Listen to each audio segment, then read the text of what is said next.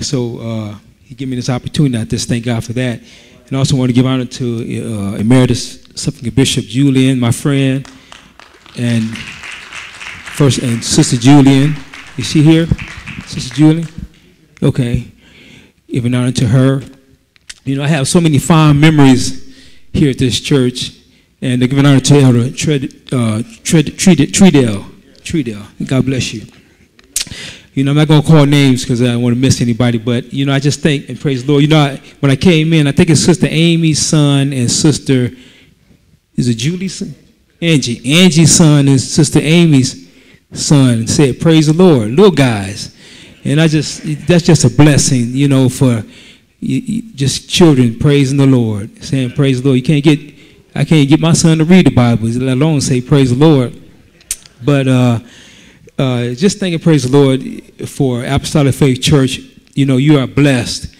You know, you are blessed because you're getting some good teaching. You come under some good teaching all through the years through Bishop Brisman, Pastor Julian, now Pastor Dorian.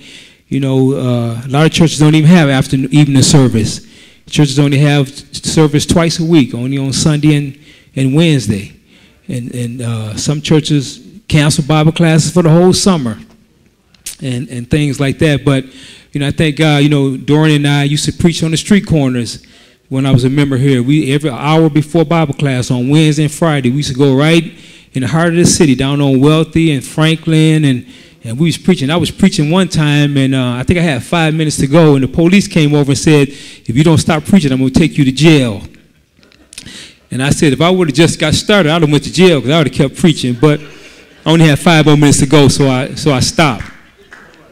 But uh, I just thank and praise the Lord uh, uh, for uh, Apostolic Faith Church. My mother always asks about Pastor Julian. She always asks me, how is he doing? She always said, you talk to him? And I said, yeah.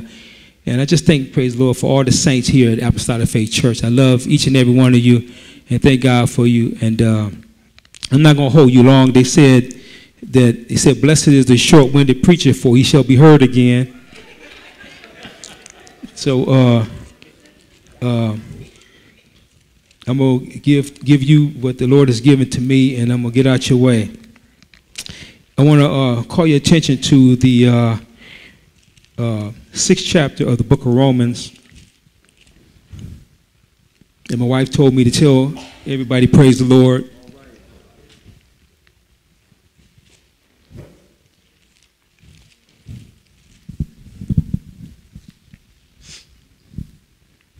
Romans chapter number 6. I want to read verses 16, 17, and 18. And when you have it, say amen. amen. And the word of God reads, Know ye not that to whom ye yield your servants to obey, his servants ye are to whom you obey, whether of sin unto death or of obedience unto righteousness? But God be thankful, thank, but God be thanked that ye were the servants of sin, but ye have obeyed from the heart that form of doctrine which was delivered you. Being then made free from sin, ye became the servants of righteousness. Amen. I want to read verse 18 in your hearing again. Verse 18 says, Being then made free from sin, ye became the servants of righteousness. And I want to use for a thought on this evening you can live free from sin. Amen. You can live free from sin. You know, uh, you can you can be seated. You know, David said, "I was born in sin and shaping in iniquity." We were all born in sin and shaping in iniquity, and when we were born, the first time we sinned, we became a sinner. And all of us were born with an evil spirit. But once we get converted and we hear the gospel and we repent and get baptized in the name of our Lord and Savior Jesus Christ and get filled with the Holy Ghost, the Bible says that the evil spirit leaves and it finds no rest. But when you get filled with the Holy Ghost, the Bible says that you receive power after that the Holy Ghost is come upon you. Power, you have power over sin. See, there's always there's a there, we, we know we're no longer a slave to sin. We were we were bound by sin. We were we were the devil was our ally. Before we got saved, uh, some of us we practiced more sins than others. If the devil told us to lie, we lied. If the devil told us to drink, we drank. If the devil told us to uh, fornicate, we fornicated. So, but once you get saved, we're no longer we are the devil's enemy, and we, you know, the saints of God, we ought to hate the devil. Uh, I heard Bishop Bishop Golder. I was listening to Bishop Golder one. Uh, I got a CD, and he told a sister that you need to you should you got to hate the devil. And she said, "Well, Bishop, I ain't never read in the Bible where it says uh, I, I got to hate the devil." He said, "Well, you should hate the devil because he hate us. We are you got to hate the devil, and you got to hate sin."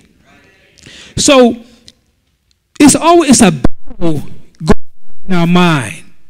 It's a battle with God and with the devil. And, and whoever gets control of your emotions will get in control of your will. And that's the battle of trying to get control of your will. The devil wants to get control of your will, and, and, and God wants to get control of your will. Just because you are baptized in Jesus' name and filled with the Holy Ghost doesn't mean that you're not going to sin. But you don't have to sin. People only sin for one reason because they want to because the devil cannot make us sin. The only thing the devil can do is tempt us. The devil can only tempt us. He can't he can't make us sin. I remember when I was growing up, I wasn't raised in the church. I didn't get saved until I was 21. But I remember uh, growing up and on a lunch break, I might be with some fellas and we might go in the store and the guy, they might tell the guy, they might say, hey man, uh, steal, that, steal that candy bar. And he said, no, he said, go ahead steal it, man. Ain't nobody looking, see, ain't nobody looking, go ahead steal it. And, and after a while, he talk him in and he'll steal the candy bar. And see, that's how the devil is. The devil can only tempt you, cannot make you sin. You, you know, what you have to do is, you, you can't, when, the, when the, the, like I said, the battle is in the mind. So what you have to do is, you have to, you know, you can't babysit these thoughts, these evil thoughts when they come. You can't babysit these thoughts. You know, they told me when I first got saved, they told me when evil thoughts come, rebuke the name of Jesus, plead the blood of Jesus, and I still I still plead the blood of Jesus. I mean, I didn't know what they was talking about. I just did. And it worked. and you have to plead the blood of Jesus. You have to rebuke the devil. Constantly rebuke and and and and if you have to uh, sing a song or quote some scriptures and tell tell those evil thoughts leave. Because if you babysit those thoughts and babysit those thoughts the next thing is going to happen is you're going to sin. But you don't have to sin because john said whosoever is born of god cannot sin because his seed remaineth in him that he that he cannot sin. So the only time you sin is when you kick the word of god out but as long as you have the word of God in your heart, that's why David said, Thy word have I hid in my heart that I might not sin against thee. So there's an opportunity that you could sin, but you don't have to sin. You know, you, we can live free from sin. Uh, you know, they, we used to teach this back in the day that you can live free from sin. And I just come to tell somebody on this evening that you free from sin. You to sin. You righteous. We are a servant of righteousness. We are a slave to righteousness. We have power over the devil. The Bible says, Greater is he that is in me than he that is in the world. So, what we have to do is we have to guard our mind and our thoughts. You know, we can't watch everything on television. We can't listen to any kind of music. I haven't I haven't listened to secular music since 1984 because when I got saved, before I went to get the Holy Ghost, I found the empty box in the basement and I put all my albums in the empty box. I put all my cassette tapes, all that worthy, all that worldly music. I put it in the box and on the way to church, going to get the Holy Ghost, I threw it in the dumpster. I said, I'm not even giving it to nobody. I threw it in the dumpster and I don't listen to secular music. I don't watch movie with sex in it and all these kind of crazy moving on television. So we have to guard our heart and our mind. You know, you have to separate yourself even from, from people. You have to separate your, uh, sad to say, you have to separate yourself from people in the church sometime. Because uh, if you want to be saved, my pastor told me something when I first got saved. He said, He said, Brother Shivers, he said, you'll find out something. When you really make your mind up to be saved, he said, you'll find out that it's a lonely walk. Because everybody is not following God wholeheartedly. Like the Bible says about Caleb, he said, Caleb wholly followed the Lord. W H O L L Y. Completely followed the Lord. You know, uh, we have to make our mind up. You know, we can't get uh, relaxed, and because we're in this lukewarm age, you know, we're in a lukewarm age. You know, uh, it's something about uh, See, a cold, you can't take a, a cold shower because a cold shower is uncomfortable. You can't take a hot shower because a hot shower is uncomfortable. But it's something about a lukewarm shower. It's very comfortable. And that's what's happening today with the saints of God. They start they're getting too comfortable down here. They get too comfortable. They're getting away from, you know, waiting for the pastor to call a fast. You know, you're gonna have to fast on your own. You can't wait for Pastor Dorian to call a fast. Or uh, you can't wait to consecration month to call a fast. You're gonna have to fast on your own because I'm telling you, some things are not gonna uh, some things come forth forth by nothing but prayer and fasting. Some things are not going to be moved prayer alone. Sometimes you're going to have to fast. You're going to have to fast one day. If one day you don't get it, you're going to have to fast two if two days don't get it, you're going to have to fast three days. You're going to have to push back the plate. I'm talking about when you really want to be saved, when you really want to overcome some things in your life, you're going to have to fast and pray and ask God to help you because God is there to help us. God is there to, to guide us. You know, man needs direction from God. We need direction from God. We can't do it on our own. We need direction from God. The Word of God directs us in every area of our life. It directs us on how to raise our children. It directs us on how to on our finances. It directs us in every area of our life. You know, I I uh I don't want to hear no messages that make me feel good. You know, a lot, a lot of times today you're hearing these messages that feel good messages. You know, making people feel good in their sins. But I want to hear a message that's going to bring about some conviction. I remember when I first got saved, I heard messages that I wanted to get baptized in Jesus' name all over again. You know, I remember I heard messages that made me that hit me and say, "Am, am I living right?" uh, uh, uh, Uh, am I doing that? Am I offending my brother? Am I, am I, am I walking through the church not speaking to my sister or not speaking to my brother? See, I was determined not to let anybody run me out to church because I know that God saved me and my mind was on heaven. And everybody, each and every one of us, our mind need to be on heaven because God is soon to come. The rapture is right around the corner. And if you want to see Jesus, you're going to have to live holy. The Bible says that, uh, you, he said, Be ye holy, for I am holy. God is not playing with us. God is not like our parents. You know, our mother and father would let us get away with some things. But God is serious. He said, His yea is yea and His nay is nay. God is requiring holiness. And if you don't live holy, you will not see Jesus. But in order to live holy, you live right. You're going to have to walk right. You're going to have to talk right. When you get outside these doors, you have to live right on your job. You have to live right at home. You have to live right in your car. Just to give you a testimony, I was, when my son was, uh, when my son was 11 years old, I, he came down for his, I went and picked him. He came down to see me for his birthday. And uh, I, took him, I took him to the Pistons basketball game. And on the way home, I was taking him home and he said, he asked me about the Holy Ghost. And I said, son, what make you what made you ask me about the Holy Ghost? He said, Well, I was I heard you talking about it on the phone and I was curious about it.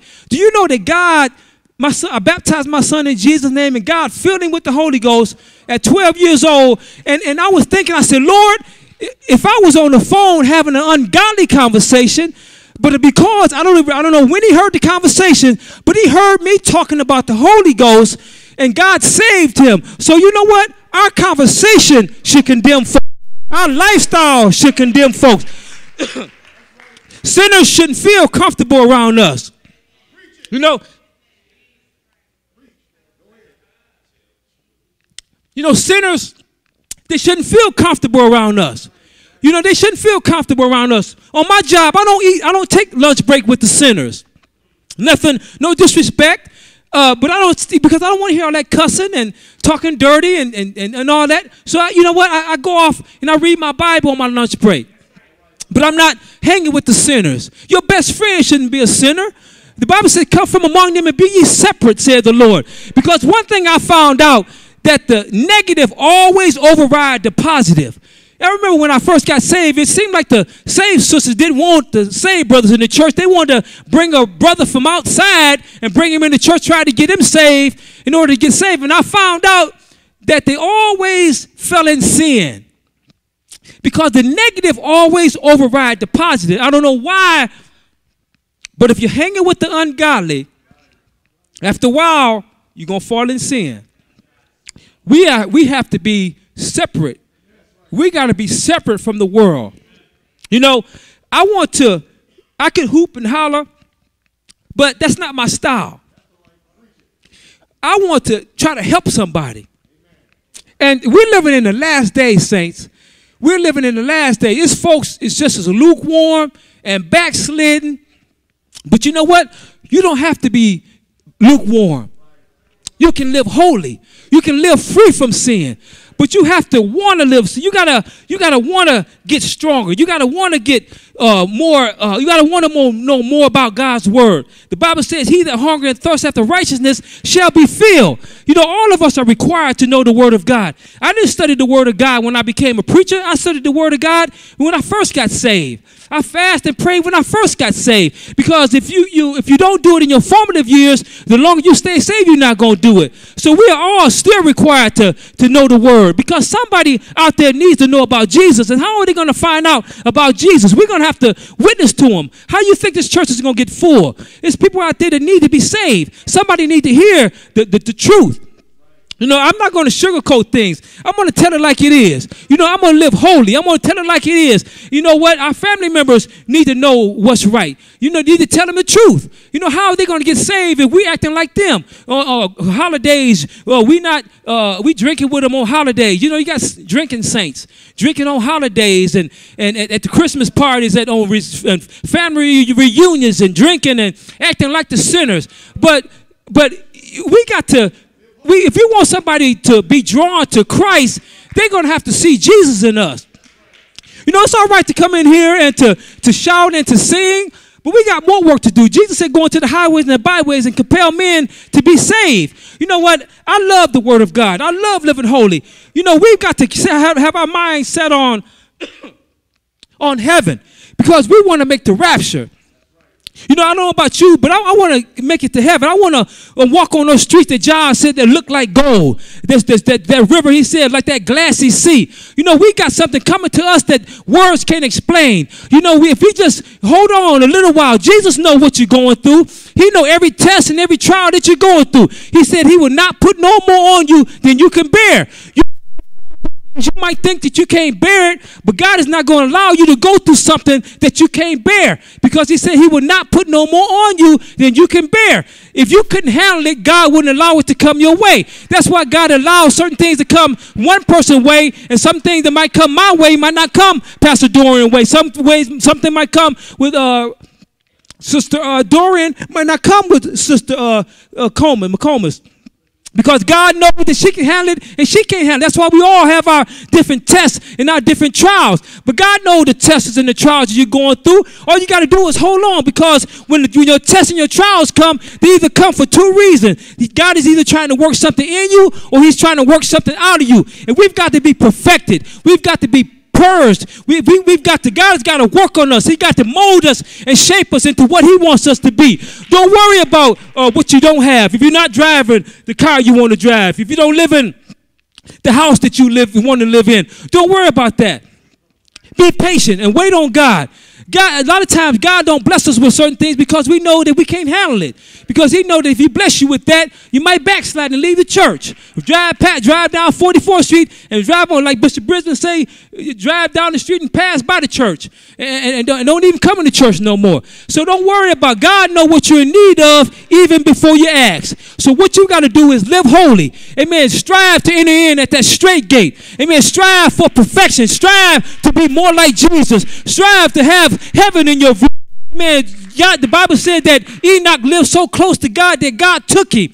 Amen. That translated him. Amen. We got to have a closer walk with God. We got to have a, the desire to have a closer walk with God. Whether you're, you, I don't care if you're five years old or you're 50 or 60 years old. If you in Jesus' name and filled with the Holy Ghost, you required to live holy. Everybody that are saved, we're required to live holy. God is serious. He's coming back for a church that have made herself ready. God is not playing. Just look at the world. Look at our government, the wickedness in high places. Look at our, our uh, police department. Look at all this uh, wickedness in the earth today. Amen. Aren't you glad you're saved? Aren't you glad that you're filled with the Holy Ghost? Aren't you glad that you don't have to worry about all the evil that surrounded us?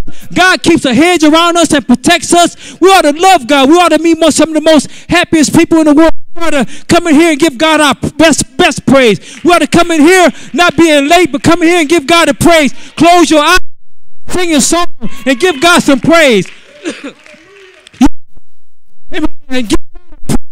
like it's your last praise. Praise Him like he's coming back within the next second and give him some praise. Every time you come in here, give him some praise. Don't wait till you get to church, give him some praise. Dress. Praise him while you're in the shower. Praise him while you get the fire started. Complain about the choir. They complain about the praise team. No, it ain't nothing.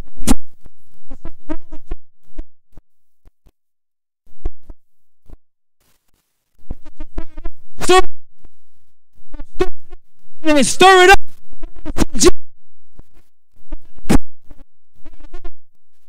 I'm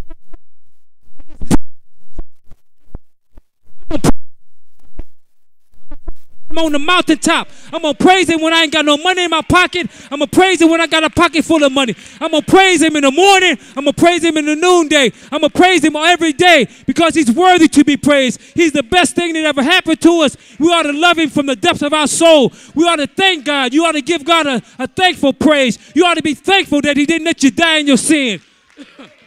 Hallelujah. You ought to be thankful. We could have been dead long time ago, but God saw fit to draw us and call us out of darkness into this marvelous light. Amen. We've got something coming, amen, that is more than silver and gold, more than money can buy. We've got heaven. We've got something. We got eternal life coming. Eternal life where we will never get hungry, never get sick, never get tired, never get sick. We will have that glorified body. We're going to live forever and forever and forever and forever and forever. Amen. After a hundred zillion years, we'll still be living. You can't even comprehend eternal life. You can't even comprehend it.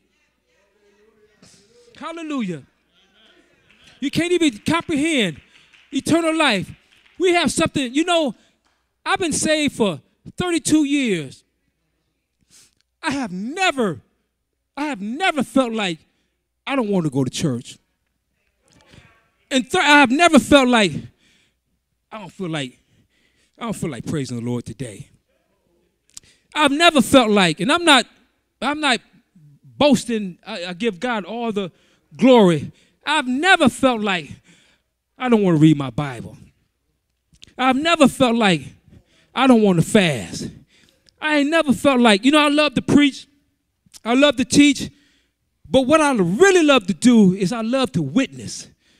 That's what I love to do. I was mad. I was mad last year because I didn't win nobody, no soul to the Lord. I was mad because I didn't win nobody to the Lord. You know, we got we can't be selfish. How many people have we won to the Lord? Actually, how many people have we won to the Lord? That, that is our job. God didn't save us. God saved us not just for us, but God saved us for our family members to be saved, for our friends to get saved, for our co-workers to get saved, people in our neighborhood. Some folks in our neighborhood don't even know we saved. People, everybody should know you're saved. Your, your neighbor should know you're saved. When you go to the store, they should know you're saved. Everybody should know you're saved. But I was mad because I didn't win nobody to the Lord. And I just thank God. You know, I thank God because, you know, I was, when I was 11 years old, when I was 11 years old, I had a real close cousin named Jesse James Shivers Jr. And he got shot. He got shot and killed two weeks before my birthday. And I was in the Baptist church and I used to love to pray. My sister taught me my little prayers and I used to pray every night. And I would take my time and, and pray to God. You know, I would pray to God and I would I remember I would go to the park and, and I would lay out in the in the in the in the park. I was about 11 years old. And I remember we, we had a little song we learned in Sunday school. He's got the whole world in his hand. I remember in the, one day I was in the park, in the park, it was a beautiful, clear blue sky, and I remember I said, Lord, I said, I said, you got to be a big God. You got the whole world in your hand. You know, God was dealing with me in that Baptist church at the age of 11. I remember saying, now my mother used to smoke, and my mother used to curse. And we would get out of church, my mother would fire up a cigarette, and she would be cussing. I would say to myself, now mama just got out of church, and she's smoking, and she, and she cursing. So, but I love God. So when my cousin got killed, my daddy woke me up at 11:30 and told me he was dead. I cried all night long. I cried my tear ducts out. And I woke up the next day and I pointed my finger up to the sky and I told God, I said, I hate you. I said, I never step foot in church and I never pray again as long as I live because you didn't have to let my cousin die like that. And so I was an A1 student. That, that was my fifth, my fifth grade year. I got a, a trophy for the most outstanding student. So he got killed uh, my sixth grade year. After that, I just did enough to get by. I had everything growing up as a kid. Uh, we lived in a nice neighborhood. I had nice clothes, had a basketball room in the backyard, ping pong table, wore nice, uh, I always had everything. Had a car my senior year, didn't even live a, a, a mile from the high school. Had everything. But I was so miserable inside. You know, I just couldn't get my life together. You know, I was a, I was such a good, I was a, such a good athlete that like they said I could have made pro baseball, I could have made pro basketball, I could have ran track, but because I was angry at God, I just didn't care. And and there's nothing you can do with a child that don't care. My mother would put me on a punishment for two weeks. She would say, "Don't leave out your bedroom unless you got to eat or use the bathroom. I didn't care. After two weeks was over, I said, "You said I'm on, my, my two weeks is up. Can I can I ride my bike?" And I was already smoking weed in the fifth grade, having sex in the sixth grade, and I was just a well-dressed crook. Well-dressed. I was a con artist, and and I'm telling you this testimony to help you. And so, I uh, my mother always said when I had a girlfriend, I was had a level head. She said, but when you don't have a girlfriend, you're just wild and crazy. So I was dating a girl. We dated for four and a half years, and uh, we broke up in the uh, fall of fall of 80, 83. I went to Western Michigan in winter 1984.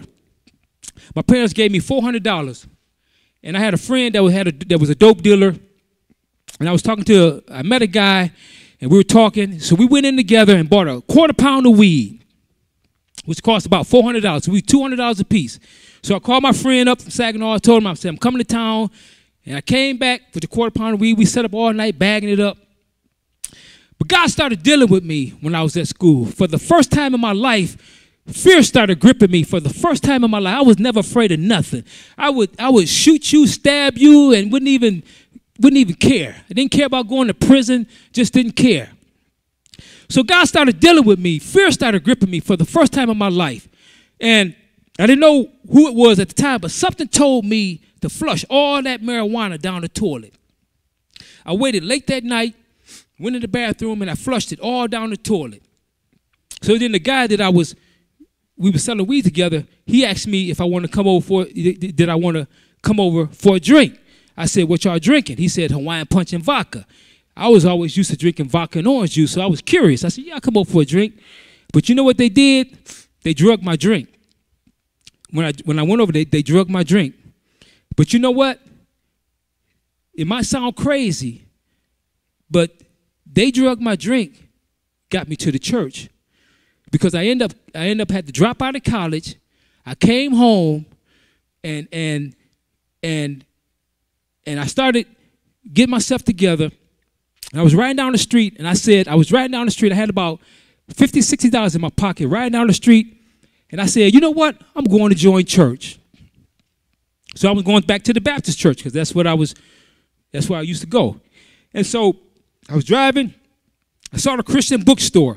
I went in there and I said, uh, I had never read the Bible. Didn't even know who Jesus was. I, I heard people bump their leg and say Jesus Christ. I didn't even know who Jesus was. I didn't know Jesus died for. I didn't know nothing. So I went into the Christian, Christian bookstore and I told the lady, I said, I want to buy a Bible. She said, What kind of Bible you want? I said, I said, How, many Bibles is that? I said, I thought it was only one Bible. She said, Oh no, you got the King James, you got the New International. She said, But the King James is the most accurate. I said, Well, give me the King James, I gotta be accurate. I bought the Bible, bought it, I spent all my money in there, bought a little leather case, joined the Baptist church. And I was serious. But one thing I always said was, I said, I'm not going to church because I like to party. I like to get high. I like to do a whole lot of things. I'm not, I said, but I told my girlfriend, I said, but the day that I join church, I'm giving God 100%. I'm not going to get out of church and smoke dope. I'm not going to get out of church and go to the club. I'm not going to get out of church and drink. I'm not going to lie. I'm not going to fornicate. So I went to the Baptist church, got baptized, and I stayed there for about three weeks. And I had met this girl, and I was said I was going to fornicate. So I, I said, well, that ain't right. You just got baptized. So I called the pastor February 21st. It was a Tuesday. I called the pastor and I said, I said, I need to talk to you. So he said, Well, come to the church about three o'clock and we'll talk. So I get up to the church and I knock on his on his office door. He said, Come on in. When I open the door, he's sitting there smoking a tobacco pipe. And I said to myself, I said, I didn't know Reverend Thompson smoked. I said, he can't tell me nothing. So I talked to him anyway. I said, listen, Reverend Thompson, I said, I don't want to lie. I don't want to steal. I don't want to get high. I don't want to fornicate. I said, "Am I all right?" He said, "Yeah, man, you okay? Keep keep on doing your thing."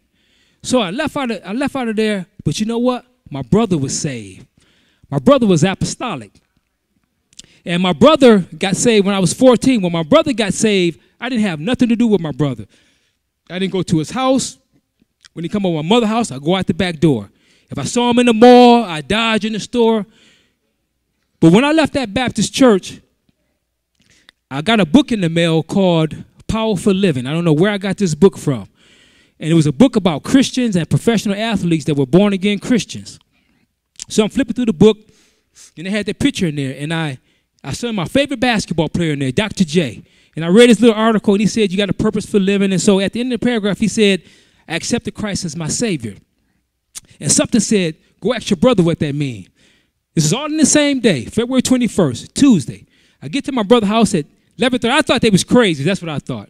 So I get to his house, 11:30, and his, his, his wife and I, we sitting there eating chicken and talking. So my brother comes home at about a quarter to 12, and he said, Look, bro, what are you doing? What are you doing over here? I said, Look, man, I said, what does it mean to accept Christ as your Savior? And my brother, I can still remember the look on his face. He was rolling his sleeves up and he told his wife, Go in there, get my Bible and get that folder. My brother sat me down and talked to me about the baptism in Jesus' name, and we talked. At about a quarter to one, I said, Can I get baptized tonight? Now it's February 22nd. They opened the church up at 1 o'clock in the morning and baptized me in the name of Jesus Christ. And my brother told me, he said, Come to church at, at 7 o'clock and tell them that you want to tarry for the Holy Ghost. I didn't know what he was talking about. I went home that night and I got down on my knees to say my prayers and I started crying. I said, Lord, I said, I said, I haven't said my prayers since I was a little bitty boy. I said, I done got in this bed high and drunk. So I got dressed at four o'clock, put a little shirt and tie on. I said, I don't want to leave the house. I don't want to get into nothing. And that's like I told you before, I put all my music, because that's what was keeping me from getting saved was music and partying. So I put all my music in the box. I got to the church and the sister said, Praise the Lord. I said, Look, my brother said I got to have the Holy Ghost. I come to get it. She said, I'd like to hear him talk like that. And I got filled with the Holy Ghost. But my mind was made up way before I got to the church that when I do join church, I'm giving God 100%. God doesn't want 80% from us. God doesn't want 99 and a half. God wants 100% from us when we pray, He wants 100%. When we fast, we want 100%. When we live, He wants 100%. We want us to live holy 100%. When I got saved, I said, Lord, if I don't never get nothing, if I don't never get no wife, if I don't never get another penny, don't take the Holy Ghost away from me. And I'm telling you, you can live free from sin. I got saved and I stopped everything. But it's all up to you. It's all up to you. How bad do you want it? How bad do you really want to see Jesus? How bad do you really want to see him? Because it's going to take some, you're going to have to live holy. And you can live free from sin. You don't hear these messages today that you can live free from sin. You don't have to sin. You can live free from sin. We don't have to sin. So, you know, I, I hope that I've said something that has helped somebody this evening. I desire that you keep me in your prayers that I be what the Lord is calling for these last and evil days. I want to see Jesus. I want, I'm gonna live holy. I want to. I want somebody to see Jesus in my life. We don't know who life we're affecting. People know we say we don't have to wear shirts. Ain't nothing wrong with that, but we got the Holy Ghost. People know something about us. Strangers know it's something about because we got that glow about us. They know it. If you're living holy, if you're living holy, heaven is yours if you live holy. God bless you. Amen. Amen. Hallelujah. Amen. God bless you. Amen. Did not our hearts burn within us? Can the church say amen? You don't hear messages like that anymore. Amen. But it's good to know that you can live holy. You can be saved. Amen. We can come out from among them and we can be separate, saith the Lord.